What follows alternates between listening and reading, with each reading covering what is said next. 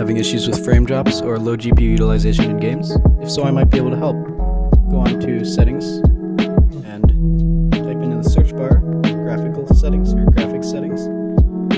Then, you, of course, you can toggle Hardware Accelerated GPU Scheduling, but you can also set your Task Manager a specific app to prioritize using more of your GPU.